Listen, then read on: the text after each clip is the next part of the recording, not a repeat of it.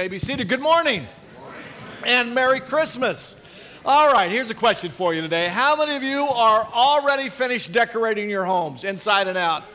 Well, looky there again. How many of you have not started yet? Okay, all right. How many of you are in between? Okay, all right, very good. I, we caught everybody then in one, one form or fashion. Merry Christmas, guys. Good to have you with us on this first Sunday of December. Uh, it is rapid, ra- rapidly approaching, but uh, uh, last night was the first big night in the new neighborhood that I now live in, all right?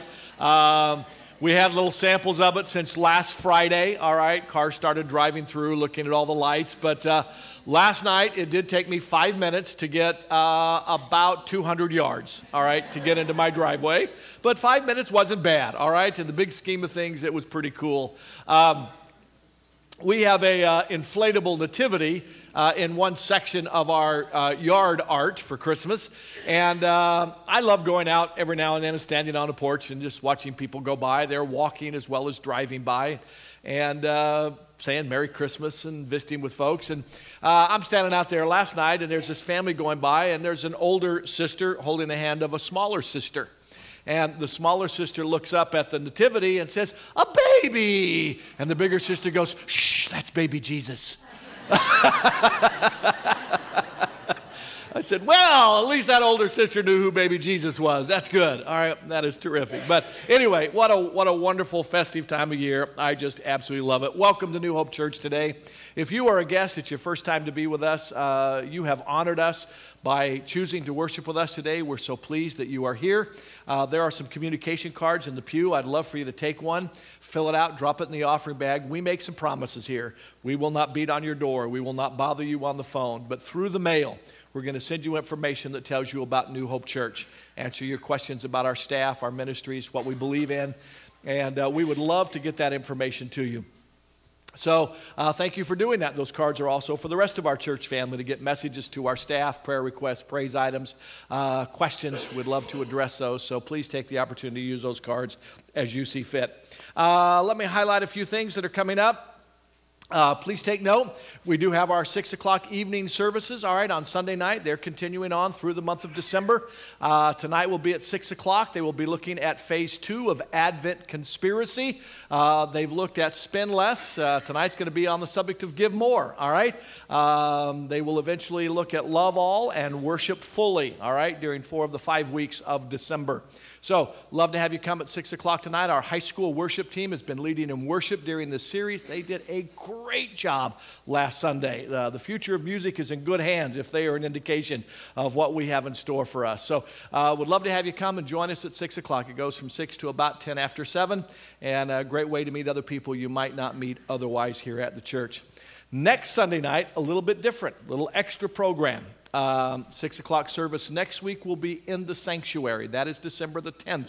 Our children in Sunday school have been practicing for over two months now a Christmas musical play. And they will be sharing that with us next Sunday night at 6 o'clock uh, here in the sanctuary. So, hope you will come and join, support what our kids have been doing and working on for the past two months. They are going to do a great, great job. Uh, Primetimers Luncheon is on December the 12th, so please take note of that. Um, on December the 17th, that is our Christmas musical and message morning. Please note the times. They're slightly different on December the 17th, 8, 9.30, and 11 o'clock. All right, 8, 9.30, and 11 for our three morning services on December the 17th. Christmas Eve services will, be pretty traditional, all right, in the morning, all three times. Uh, Tim Kepler will be with us on Christmas Eve. He gets back in, from Japan, so he'll be with us on Christmas Eve morning. And I think I persuaded him to do 8 o'clock service as well. So we'll probably have 8 o'clock service in here uh, on that Sunday as well. We have two Christmas Eve services in the uh, afternoon and evening. There'll be a 4 o'clock one, which will be finishing up the Advent Conspiracy series, and then we'll have our traditional 9 p.m. Christmas Eve service, Come As You Are, all right? So you can come to both or pick one, all right? But we'd love to see you then. Uh, I think those are the updates I need to bring to you apart from our church wide meeting uh, is at 1215. Uh, in just a few minutes, I'm going to give you a quick capsule of what we're going to talk about. Uh, and it's going to do one of two things. It's going to either encourage you to come back at 12:15, or to shrug your shoulders and say, "Oh well, that sounds good. We trust you," and not show up. And we can live with either one of those. But we would love to see you at 12:15. Um, if you do have an angel tree uh, gift that you uh, took an angel and you are purchasing gifts for that angel, uh, those need to be here by next Sunday. That is the cutoff date, all right? Uh, the boxes uh, that we are doing with Samaritan's Purse, Operation uh, Christmas Child. Um, those were due today. Um, if you are coming back tonight to the 6 o'clock service, you could bring it back this evening. I think there are a few empty boxes out in the foyer if you wanted to still go do something today. We have exceeded 120 boxes for children overseas, so great job. Along with our 260 or 70 angel tree, we're going to be taking care of close to 400 children who would have gotten nothing this Christmas. So thank you, thank you, thank you for that. Uh, all right, let me. Uh, if you are a guest today, what I'm about to do is not part of our normal Sunday morning worship service. But um, since we are a church and we are a 501c3, uh, the state requires a few things. One, you have to have a budget and that budget has to be approved by the organization. And so every year, about this time, uh, we have to prepare and propose to our church body uh, our annual budget for 2018. And we will be doing that at 12:15 today. Um, here's what I can tell you about the budget. Uh, the budget is going to be is asking for seven percent more than what we asked for for 2017. Now, we have exceeded uh, income over the year has exceeded what our budget was for 2017. That's always a good thing. We love that. We've kind of been on that roll for about 10 or 11 years now. Um, usually, we've tried to keep our budget increases to less than 5%, but I made a promise to our staff and to the church last year that uh, my biggest target for this coming year was going to be increasing the salaries of our staff here. That is not increasing my salary, all right, but I'm increasing the others. I told the board a couple of years ago, uh, till the day I retire, I'm good, but we need to take care of our, our other staff members. And so um, most of that is reflected in this year's budget. We have not cut ministries uh, at all, but uh, we also asked them this year to be very cautious as they gave to us uh, their proposals, and we tried to accomplish everything that they asked for. Um, so that's the budget that will be proposed for you uh, this afternoon. All right. Um, I can tell you we're going to come very close this year to taking in in tithes and offering what we are asking for for next year. The last few years, we've usually always exceeded it. This year, we're going to be really, really close to that. It depends on how generous people feel in the month of December.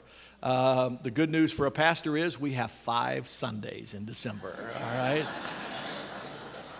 Pastors always love five Sunday months, and we particularly like this year. This is a really peculiar year. There are 53 Sundays this year. So we didn't have just four months with five Sundays we have five months with five Sundays. So I think with that fifth Sunday, we are going to get very, very close with all that. But anyway, that, that's the general things that we'll be talking at at 12:15, and uh, we'd love to have you back to inquire about that. We uh, we are not going to have any elder recommendations. We thought we might, but there are a couple of uh, folks interested in that who have not yet decided. They're going through the process, so that will be will be delayed for just a little bit. Uh, the, the other very important discussion that we're going to talk about, not really have any important decisions, but we will have a frank discussion.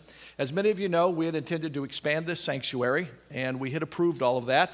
By the time we got through plans and it got through the county, and the county got through with all of their newer requirements, what we were going to do was add 27 feet to the sanctuary, which would give us another 100 more seats in the sanctuary uh, and remodel our bathrooms and our stage. And by the time the county finished with those plans, it was going to cost us twice what the original proposal was, and we were going to lose 12 seats of seating rather than gain 100. And so, as you know, we chose to just do some remodel work without changing the footprint of the building. So, the stage has been uh, expanded, the new rock wall in the back, the new wood floors. Uh, the bathrooms have been remodeled, some wiring has been done, some new lighting has been put in.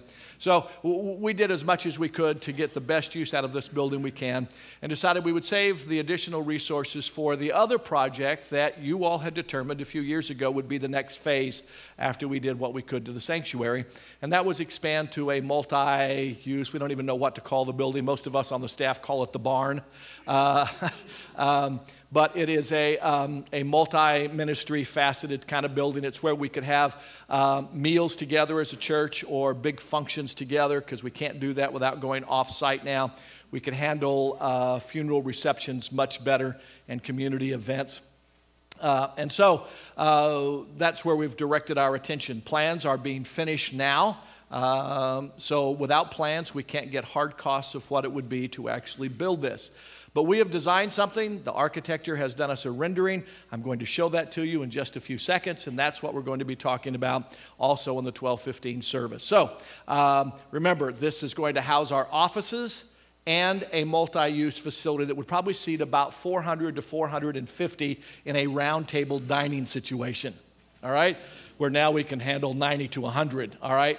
Um, we could also use this big room on Sunday. Some are saying, Tim, but if we have a bigger sanctuary, more people could come.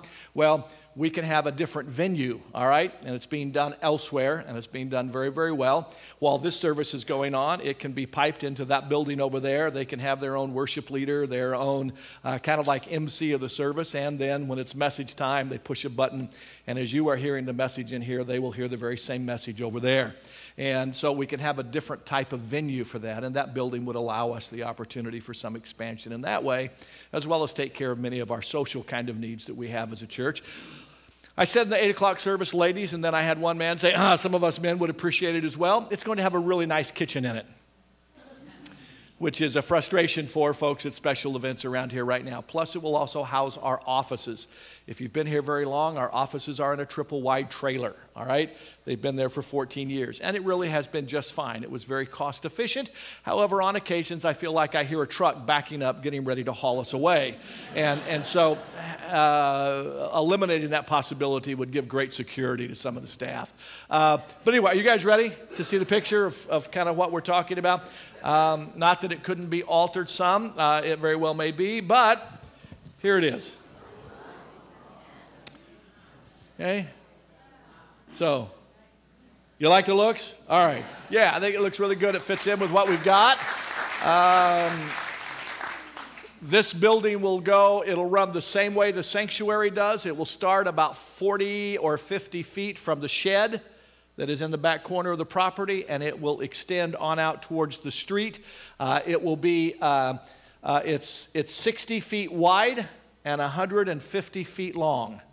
Okay, so it's bigger than any of the existing buildings. The front portion of that is the offices. The back two story, looks like two story, but it's not, uh, is, is the multi use facility. Um, the rest of the property would be in parking. All right, so everything else would be in parking. We would be finished here. There's nothing else that we could do unless we tear something down and rebuild something. All right, because all the usable space would be would be taken up.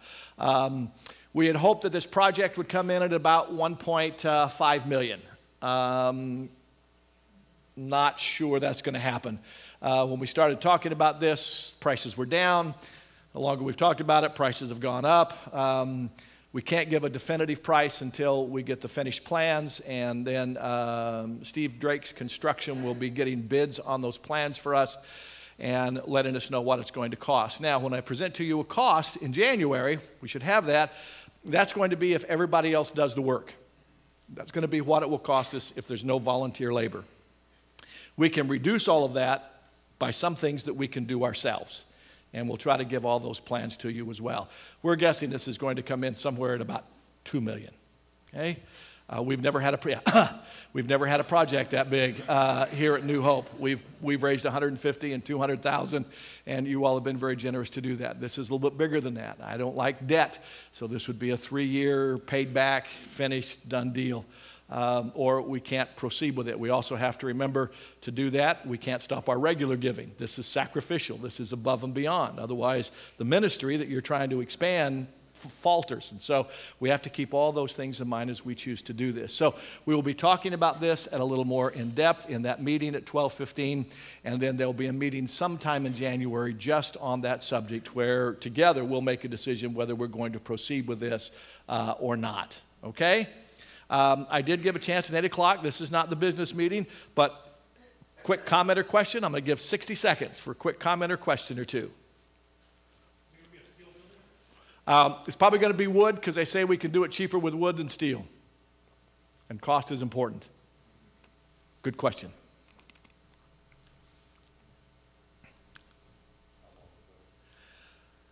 Our guesstimate is uh, it will probably take us a year to get all the uh, uh, architect plans, bids, hard costs all finished, and fundraising a year. If we could break ground a year from this January, I'd be really happy. Um, and then it would probably take a year. So that's, that's, that, that, that's a ballpark at the moment. What I've discovered is things never go as quickly as I want them to. Okay? All right, so those are just a few of the updates that, uh, that we wanted to share with you. So uh, at this time, we're going to uh, ask our ushers to come forward and uh, enter into uh, our worship. Uh, gentlemen, would you come? We'll pray, and then the worship team will come and lead us. Father, I love you. I am grateful for who you are. We talk about things like um, buildings and facilities and it's easy for us sometimes to, uh, to get caught up with those things and forget that what ministry is is really about people to people. And the buildings and the facilities are to be the best resources, use of resources that you provide for us so that we can express your life through us to a community who needs to know more about Jesus. And Father, never, never let us lose sight of what the purpose is. This is this is not to make a statement of, of any earthly value. This is to be a statement about kingdom value, about eternal worth and truth. And Father, we know the resources are yours, but you provide those resources through us. And uh, I pray that we will be very wise in our dependence upon you as we make these decisions. We want your will and nothing less, nothing else, nothing more. Father, we trust you with needs today for the Klomp family. We just had the memorial service for Carl last Friday. Um, thank you for the difference that he made in the lives of so many as we heard them give tribute to him. Father, for George Wise, the um, shirt tail relative of mine from Shafter who passed away last Sunday during our last worship service, uh, we pray for his family and his friends as they gather tomorrow to honor him. And we trust that your son, the Lord Jesus, will be lifted up high and holy in that service. Father, you know what our needs are today, those who've gathered here and uh, the reason that they've come. And I trust through the message of both music and word that our hearts will be encouraged and cheered, and we will be of better use for you in the way in which you want to express yourself through us. We trust you with all the other needs. There are hearts that are hurting for a variety of reasons today. There are some that are confused about what next steps in their life are going to be. There are others who are just simply coasting through life. Um, and I trust this will be a pivotal moment, a turnaround moment for us as we contemplate how you make a difference in us. Thank you. In the incredible name of Jesus Christ, we pray. Amen. Amen. There was, a, there was an older woman. She had found it uh, growingly difficult to drive her car out on busy streets, and shopping and crowded stores became more and more difficult. And um, Shopping for her kids' and grandkids' Christmas presents just became a real challenge. So, this particular Christmas, she decided that she would put a check in a card and send to each one of them with a little note. A couple of days after she had mailed all the cards, she discovered that she had forgotten to include the checks in the cards. Can you imagine all of her kids and grandkids opening up the card and reading grandma's note that said, Buy your own presents this year.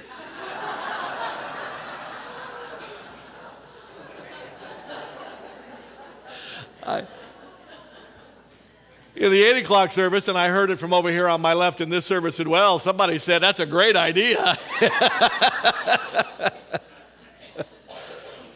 um, along with her challenge of getting out and uh, uh, shopping, there was also probably a little bit of lack of, of preparation as she set those things out, double checking that, making sure everything was done properly.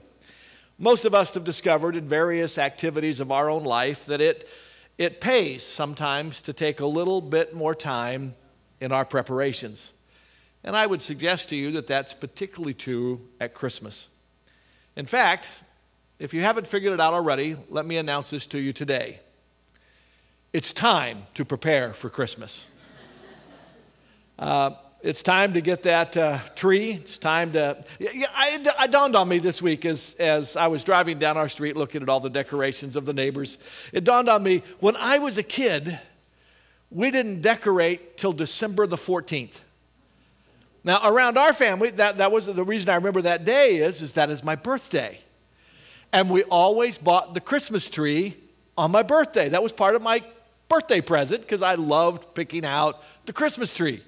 My mother and I let my father and my sister pick it out one year, and it was the sorriest looking Christmas tree you have ever seen in your life. And my sister will verify that story, all right? and my father will verify that story. Yeah, that was, uh, that was a sad Christmas tree. It reminded me of Charlie Brown. Um, but anyway, if you haven't done it already, it's time to dig out those decorations and get busy inside and outside the house.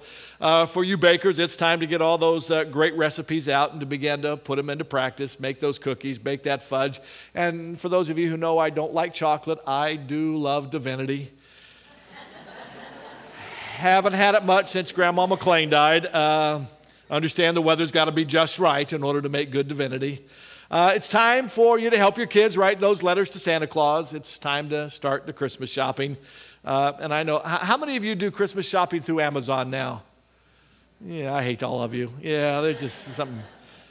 Shelly does it too. I haven't figured. I, I, I, guess I'm not techie enough to figure out how to do it. I just don't trust they'll send me the right stuff. All right, that's my biggest problem. Um, it's time to make plans if you're going to be going out of town at all during the holidays. Uh, time to practice, rehearse the music, do the plays, prepare the lessons, get fresh sermons ready. It's simply time to prepare for Christmas. We really can't postpone it anymore. If you haven't figured it out, it's just 22 days left before Christmas shows up this year. Not time to panic yet, but it is time to prepare. But I wonder, I wonder with all the preparations going on, will we take time to do the most important preparations? I suggest to you the most important preparations are not our house or our recipes or our trees or even our Christmas musicals and plays. And I'll even toss in our sermons. I think the most important preparation that we can participate in is the preparation of our hearts for this Christmas. It's an internal preparation. So often, Christmas becomes a bother rather than a blessing. Often, there's more headaches than there are hallelujahs all because we fail to pay attention to ancient words written by a prophet thousands of years ago. You'll find these words in the book of Isaiah, chapter 40, verse 3. If you want to find it, let's turn there. This would be a good verse for you to underline. Isaiah chapter 40, verse 3. Is anybody getting too cool? Okay, if you turn the cooler off, it was warm, it was really hot, but let's try it off right now. That's the, yeah, the inside one. Uh, nope, not that one, Eddie, the inside one. There we go. Just turn them to off. Okay, here's what the prophet, hundreds of years before the birth of Christ and thousands of years from our present moment, he wrote these words There's a voice of one calling, Prepare the way for the Lord, make straight in the wilderness a highway for our God. Those words were prophetic words about John the Baptist. Those were the words that were repeated again by an angel to the mother of John the Baptist, a cousin of Jesus Christ, born a bit before, within nine months of Jesus. For Mary and her aunt were pregnant at the same time. And the angel told John the Baptist's mother, You're going to have a son. And her birth was just about, her pregnancy was just about as miraculous as Mary's pregnancy. All right? And um, the angel said, We're going to give you a son late in your life. And he has a very, very specific purpose. His task is to make straight the way of the Lord, to prepare the hearts of those to hear what Jesus has to say. John the Baptist was technically the first worldwide evangelist. He's the first one who ever preached a message of repentance and be baptized for the remission of your sins, for the king is coming. And that was John's assigned task from the very beginning of his life. I suggest to you that the role that God had given to John the Baptist also needs to be fulfilled in our lives as we prepare for Christmas. We need to prepare our hearts for the Christmas story, which is the way of the Lord. And our lives should be part of that highway that God uses to communicate Himself to the rest of the world. This morning, I want to suggest to you or offer to you three ways that we can prepare our hearts for this Christmas. We're going to begin by looking at the first thought out of the Gospel of Luke Matthew, Mark, Luke. It's the third book in the New Testament. It's the third in sequential order of the four Gospels. It starts with Matthew, continues to Mark, Luke, and then John. Um, Luke's one of the more interesting writers, I think, at least from my perspective, of the four Gospels. Uh, Luke was not a Jew, Luke was a Gentile. Luke was not a, a fisherman or a tax collector like Matthew and John. Luke was a doctor. He was well educated. He was well liked because he was a doctor. And he wrote the book of Luke, the Gospel of Luke, for the express purpose of connecting the message of a Jewish Messiah, a Savior of the world, to the rest of the world. But he didn't come just to seek and to save Jewish people, but Jesus Christ came to seek and to save all who want to know him. And Luke wanted to do that. And so Luke tells an interesting story in chapter 18, verses 15 through 17. Luke was present to hear an awful lot of Jesus' own ministry. He was an eyewitness to much of what went on. And so he records for us in Luke 18 this story. He says, People were also bringing babies to Jesus to have him touch them. When the disciples saw this, they rebuked them. But Jesus called the children to him and said, Let the little children come to me. Do not hinder them, for the kingdom of God belongs to such as these. I tell you the truth. Anyone who will not receive the kingdom of God like a little child will never enter it. I suggest to you that those verses offer to us one way in which we can prepare our hearts for this Christmas. And one thing that you and I can do to prepare is to become a child again. Let's continue to look at the story of Christmas with childlike eyes and a child sensitive heart. After some last Christmas shopping with her grandchildren, this one particular grandma was rushing them into the car when four year old Jason said, Grandma, Susie has something in her pocket. He reached in and he pulled out a big, giant red hair beret. Do they still wear, do girls still wear berets in their hair? Oh, barrettes. I didn't have small girls, all right?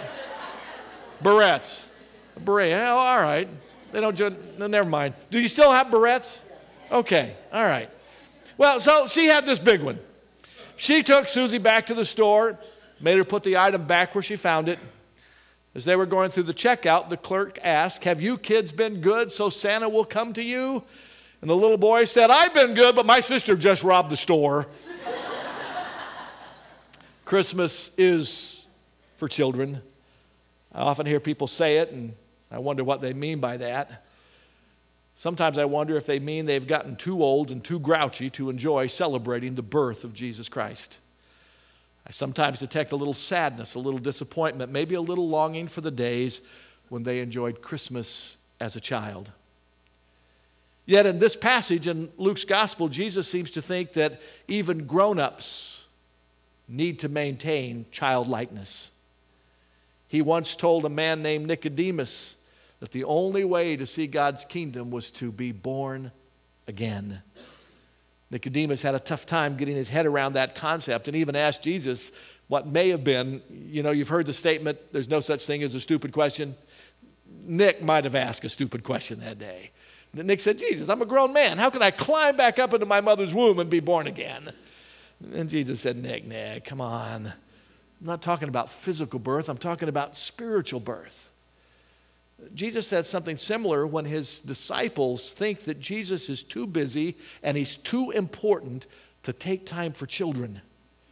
Jesus tells his disciples, guys, don't you realize how important these kids are? Children are our model for how to enter and how to live in the context of God's kingdom. Unless we become a child again, there is no way we will ever get to heaven. And, and what does Jesus mean by this? First of all, let me tell you what he doesn't mean. He does not mean that there's anything wrong with growing up. And it's probably time for a few of you to do that. Nothing wrong with growing up. There's a big difference between childlike and childish. Big difference. Most of us know that children are not always little angels. Bo might be, but as they carted him out of the 8 o'clock service today because he tried to outtalk his grandfather, which I found quite enjoyable actually. And Jesus is not discouraging us from maturing with age. In fact, that sometimes is a problem. Some adults have never matured. They haven't outgrown temper tantrums or selfishness or unforgiveness. But despite all the negative things that we lay aside as we grow up, there are some things that we need to hold on to, no matter how old we get. Let me give you just two examples today of what I think Jesus meant when he said we must become like little children and how this applies to us, preparing our hearts for the celebration in this season we call Christmas. The first childlike characteristic that we need to grow in as we mature as believers is our dependence on the Father. Our dependence on our Heavenly Father. See, children need somebody to take care of them. That's why God gave them parents. They, they do some things for themselves, but they depend on adults to do many things they can't. And, and you know, most kids really don't mind this arrangement. If they have good parents, most kids don't mind that they don't have to worry about food or clothes or transportation. For some reason, they keep that up into their 20s. They, they trust their parents to take care of them. Uh, children are a model of what our trust should look like in our Heavenly Father. Matthew chapter 7, verses 9 through 11 says, Or what man is there among you who, if his son asks for bread, will give him a stone? Or if he asks for a fish, will give him a serpent? If you then, who have evil in you, know how to give good gifts to your children, how much more will your Father who is in heaven give good things to those who trust in him? Jesus tells us that we should become like children and depend on our Heavenly Father. Jesus as man, and let me say this a little differently Jesus as God intended man to be. Do you understand that? Jesus born sinless, the only one on the face of the earth ever in the history of the world ever born sinless. There was just one other man created sinless, and that didn't last long. Adam was created as God intended man to be, Jesus was birthed as God intended man to be. Adam ceased being the man that God intended man to be when he chose to eat of the tree of the knowledge of good and evil. He stepped out of dependence upon God and stepped out into independence from God. And that's what sin is independence from God. Jesus, in his own life, for his full life, until he paid the price on a cross for our independence from God, in order to be the appropriate sacrifice that would pay back our independence from God, he had to be fully dependent on God. Did you stay with me on that? And that's what he did for all of his life, from beginning to end. And here's how we know that. For in John chapter 14, verse 10, Jesus says it this way Don't you believe that I am in the Father, and the Father is in me? The words I say to you are not just my own words, rather, it is the Father living in me who is doing his work. And as my Father sent me with all that He is, living in and through me, now so send I you with all that I, the Lord Jesus, am. I will be in and through you everything my Father was to me. That is the Christian life. Becoming a child is learning to depend fully on Jesus Christ. So, one way we become like little children is through dependence. I did not say depends, okay? Nothing wrong with depends, they're very helpful, all right? But this is dependence. The, the second way we become like little children is wonder. That's W O N D E R. Children see the world so differently than we do. Kids are amazed at simple things a caterpillar spinning a cocoon, a falling star, a waterfall cascading down the mountain. I, we went to the, the Clovis Christmas parade last night. Uh, went with Bo things I'd stopped doing for 20 years, I'm doing all over again. I'm, I'm living my second childhood all over again. But was, was down there with Bo, and I went for a walk before the parade got started, and oh, he points, light, moon. That kid loves the moon, man. He just loves the moon. And, and then every every float that came by, every group of singers that came by, every truck, every four wheel drive that was decorated that came by. Wow, ooh, wow. I mean, I got to be honest, 10 minutes I was bored stiff. Okay, okay, I've seen it, been there, done that, all right. Uh, and, and, and then I started watching Bo. Wow. Ooh. And he looked down and said, Grandpa, ooh. A child's wonder. The simple things still marvel him. They love hearing the stories of David and Goliath and Daniel in the lion's den and Jesus walking on the water, and they have no problem believing them. And they would say, Read it again, Daddy, read it again. But we get too old for that. We don't take time to see and to wonder at what's so amazing. We're often like Moses, nearly walking past the burning bush and not stopping. We hurry on and miss the living God who's waiting to dazzle us with his glory. And, and that's why often Christmas just becomes another day. We don't really take time to look at the baby in the manger. We go, oh, baby. And hopefully there's somebody around that says, shh, that's baby Jesus. Wonder. We've stopped wondering and we've started wandering. Jesus calls us to become childlike again, to look at the world around us, to look deep into His Word that He gave us, and let Him dazzle us with who He is. Let me challenge you. Prepare your hearts this Christmas by becoming like a child again. Don't regress to childish ways, but what if you practice depending on God more? instead of worrying and fretting more? What if you took time to stop and look at the wonder of God's world and the wonders out of God's word and the wonders of not just what God did back then, but what is He doing right now, even in your own life? Becoming a child again is a great way to prepare our hearts to celebrate this birthday of Jesus Christ. Uh, the, the second thing I think we could do to become childlike again instead of childish is found in a little passage in the book of Acts. If you go from Luke, Acts is just two books, two neighbors to the right, all right? The book of Acts, chapter 20, verse 35. If you have a Bible that has red print in it, this will be the only red sentence on that page. Okay?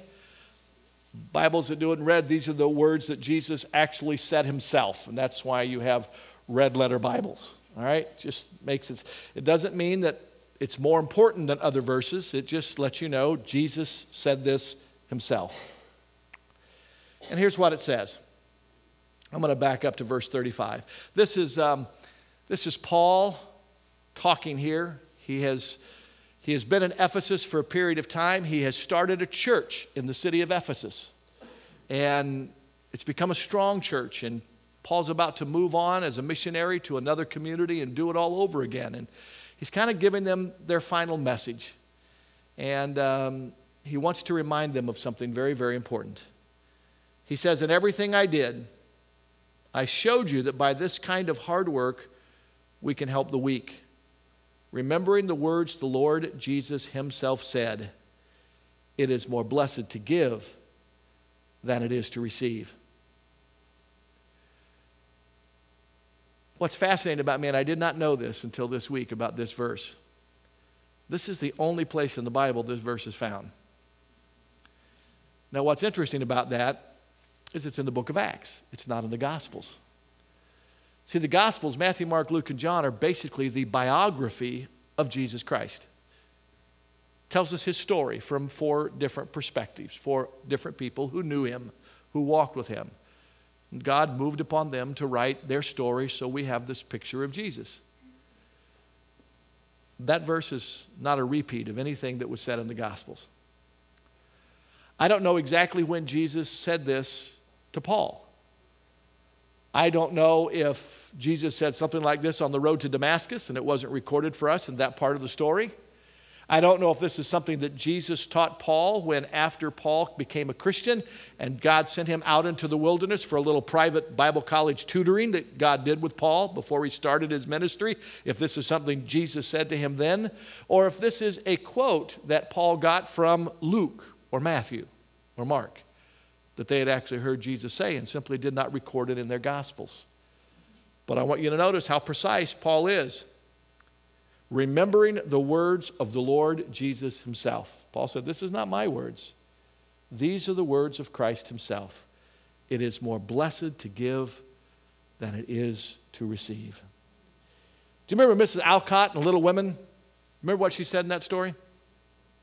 Christmas won't be Christmas without presents. Do you remember that? That is a nice tune. Um, this idea of presents at Christmas is what some Grinches gripe about. Everybody thinks Christmas is all about giving and receiving presents. That's not what's wrong with Christmas. In fact, I kind of like Mrs. Alcott's thought. Christmas really isn't Christmas without giving and receiving. But here's the key if we want to prepare our hearts for Christmas, we've got to rediscover the blessing of giving. I think Paul didn't want the folks at Ephesus to forget the blessing of giving. In Luke 6:38 it says give and it will be given to you good measure pressed down shaken together running over and it will be put into your life. The idea is the same. Giving brings more blessing than getting does. The trouble is in 21st century culture we're not too sure about that. Our culture emphasis puts a lot of emphasis more on getting than giving. I mean, kids make a list of what they want to get for Christmas, not what they're going to give for Christmas. We walk into Walmart, we spend hundreds, if not thousands of dollars on presents for ourselves and for our family, and we toss a few quarters into the Salvation Army bucket. We don't mind buying presents for people, but mm, there's a expectation they better buy one for me. Think about what we've called gift giving recently. There you go. Gift exchanges. That just assumes I'm going to give and I'm going to get. Think about how many times we've unwrapped a gift, we got excited, and two months later, when somebody asked you, What'd you get for Christmas? You had to think really hard about what did I get. Children wait all that time to open up the toy they could not live without and then they end up playing with the box it came in more than they do the toy that they got. Or the dog chews it up and it heads in the dumpster two months later. Let me, let me tell you a joy that will never fade away, though. When you give a toy to a child who has no parents, angel tree. When you bring food to somebody or give money to feed somebody who would otherwise go hungry, rescue mission. When you share what you have with the person everybody else forgets to remember when you give of your time to visit somebody who is lonely, when you send a card or a package to a soldier overseas who's spending another night to keep us safe here at home, those are blessings and gifts you will not forget. John 3:16 says for God so loved the world that he gave his only begotten son that whoever believes in him will not perish but have everlasting life. God is in the gift-giving business and he wants us to become like him through dependence and through wonder and give as well. Understand the value of giving more than getting. The, the third idea that I think will help prepare our hearts for Christmas. Remember what the first one was? What was the first one? Say that again. Become a child again. That's all right. And we become a child. Don't be sorry. At least you took notes. Be, become like a child, and we do that through dependence and wonder. Then we need to, second of all, rediscover the blessing of giving. And let me highlight the last thing. It's found in Philippians chapter 2, verses 14 and 15. Philippians 2, 14 and 15. Now I'm wishing I hadn't had you turn the cooler off, but it's okay. We'll make it. We're nearly finished. Paul wrote these words Do everything without grumbling or arguing. I think that includes Christmas too. So that you may become blameless and pure children of God. There's that word children again. Without fault in a warped and crooked generation. Then you will shine among them like stars in the sky. The third way we prepare our hearts is, folks, let's turn the light on. Let's turn the light on. I have always liked lights. I've always wanted lights on the Christmas tree. I wanted lights on the house. I love it. I love them when they're different colors. I love them when they're all the same and they twinkle. I like lights. I, the thing I don't have this year, that'll be next year that will go on the house. I want a big star at the pinnacle of the house, all right? I want an angel blowing a trumpet with bright lights on it.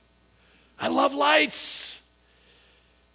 I could just sit sometimes. You'll find me in the living room where our tree is. I will just sit and stare.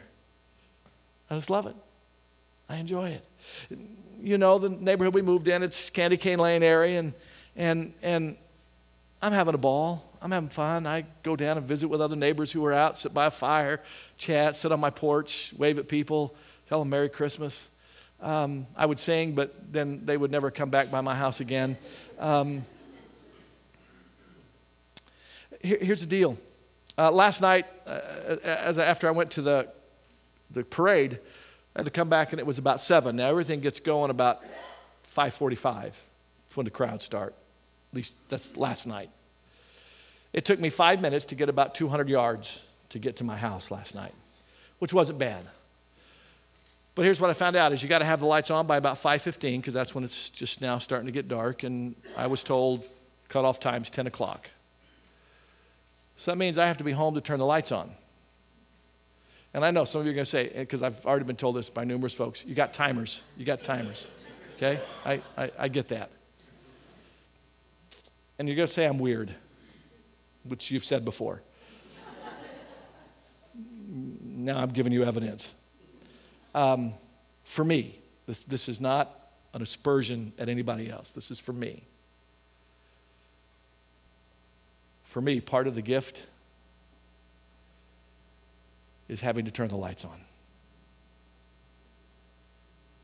For me, that's part of the gift. It's, it's the effort for me because I have to willfully make time to get there, to do it. It's part of the offering of the gift. I have to stay up till 10, which is not really hard. But if I want to go to bed early, I can't because I, cause what, I'm also cheap because I don't want to pay for that PG&E bill to go all night long because I didn't stay up to turn them off. But for me, that's, that's part of the gift. Turn the lights on. See, it's a willful choice. And, and, and you, you, there's no automatic timer that we can put in our heart that says, okay, Lord Jesus, turn the lights on in my life. Jesus has given us the freedom of our own if we're going to turn the light of his life on in our life. The Lord Jesus referred to himself as the light of the world, but he also called his followers to become the light of the world.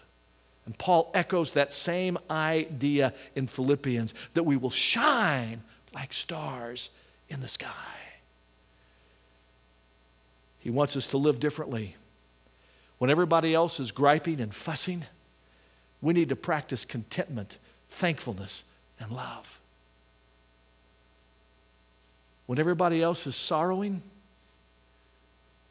we ought to be comforted, comforted, contented, and trusting.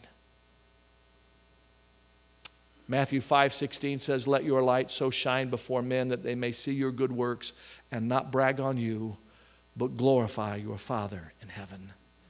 Perhaps at no other time of the year besides Christmas do we as believers have a chance to shine in the darkness more clearly and more beautifully there are people where you go to school, there are people where you work, there are neighborhoods in which you live in that can see the message of Jesus in you if you'll simply turn the light on. Christmas is our time to shine. And by shine, I don't mean show off. It's not a time of self righteousness, but on the other hand, it's a time to explain to people about the baby in Bethlehem, how he changed your life. We're doing a little class on Wednesday night of how to share our faith at Christmas time. It's, trust me, it's not rocket science.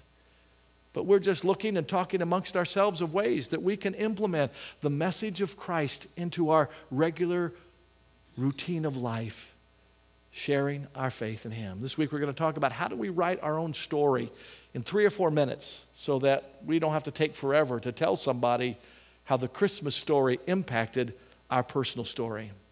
Our theme verse for that that study. Our theme verse, actually, for a study men are doing on Thursday morning, as we look at the subject of apologetics, finds itself in 1 Peter 3:15. But in your hearts, set apart Christ as Lord. This is where it starts. You can't skip this step. In your heart, this is turning the light on. In your heart, set apart Christ as Lord. Poof, flip the switch. Then be prepared to give an answer to everyone who asks you, to give the reason of the hope that you have. If you have turned the light on and Jesus Christ is Lord, you will be living a hope filled life that will prompt somebody to say, how, how, how do you get through that like that? If you haven't turned the switch on and Jesus isn't Lord, nobody's going to be asking the question. They're looking for something different. Let me challenge you this Christmas to shine bright, beautiful as the light of the Lord to others. Some of you are saying, Tim, that's just not my calling. I haven't had any training. Can I, can I remind you today of one story out of the Bible? You remember the story of the Samaritan woman, the woman at the well? Jesus met her. It was a one on one encounter. The disciples were heading into a little community to see if they could buy food for lunch. Jesus said, I'm going to hang out by the water trough, the well, and uh, when you guys find something, come back and see me. Uh, Jesus knew there was a divine appointment that needed to be kept. And a woman from town comes out to the well. She came at midday, not the normal time to get water. Women normally went together as a group. That was their culture. They went together as a group to get water. Not a whole lot different than our culture. Women go together to the bathroom, all right? Uh, they, they, they went together to go to the well, all right? And, and she went by herself because she was ashamed. She had been ridiculed. She had been talked badly about. She had been looked down upon. She had been married multiple times. She was currently living with a man, not a lot different than the 21st century culture. And she goes out there alone. And she meets Jesus. And Jesus talks to her about a water that will satisfy her thirst, where she will never need water again. She was a little bit like Nicodemus, and she scratched her head and she said, Man, I'd love to have, you know. And he said, uh, I'm not talking about your physical thirst, I'm talking about your spiritual thirst. Jesus said, It's why you've been married so many times and you're living with somebody now. You're looking for something to fill the void in your heart, and I have it for you. And we don't know all that was said between those, but here's how we know that it ended. She drank from the water that Jesus offered. She accepted Jesus as her Savior.